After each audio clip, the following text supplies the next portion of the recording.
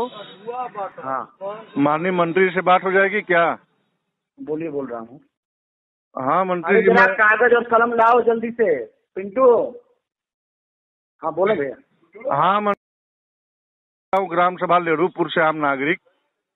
हाँ पा लेंगे दो मिनट भैया। भैया प्रणाम मैं चार दिन से प्रयासरत हूँ आपसे बात करने के लिए। क्या करो इतना पचासों फ़ोन हम किए मंत्री जी इतना दुख हमें हुआ।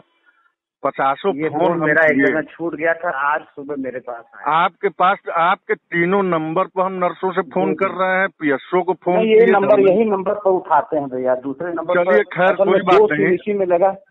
खैर कोई बात नहीं मंत्री जी आज उठा लिए फ़ोन बहुत बहुत धन्यवाद।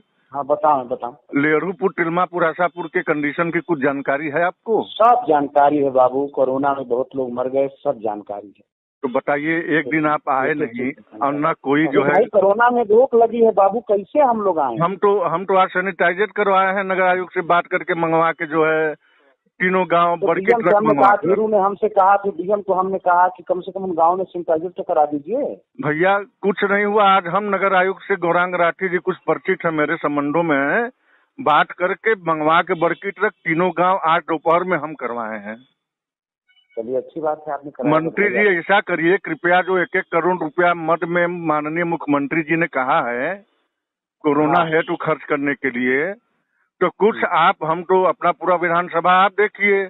कम से कम लेहरूपुर तिलमापुर आशापुर में सैनिटाइजर मास्क और गरीबों को साबुन जरा बंटवा दीजिए इतना करिए बस आप। इतना अगर कर दे तो बहुत बढ़िया हो जाएगा।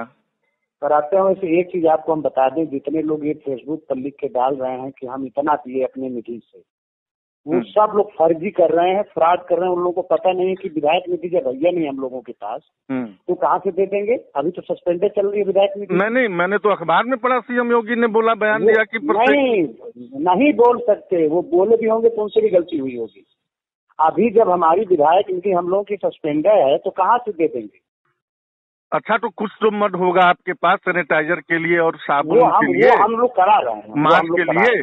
तो कम से कम कृपया मंत्री जी इसको एक दो दिन में जरा लेरूपुर तिलमापुर आशापुर करा दें बाकी आप अपना विधानसभा देखें। तो कब तक हम उम्मीद। रखें। अरे करावत की भैया। अब टाइम टेबल कौन बताओ। बवाल भाई साहब तो हाई कोर्ट में लॉकडाउन कर दिया बनारस को। हाँ लॉकडाउन तो लॉकडाउन तो हो गया तो उससे क्या मतलब है? लॉकडाउन से आप गाँव भिजवा दीजिए।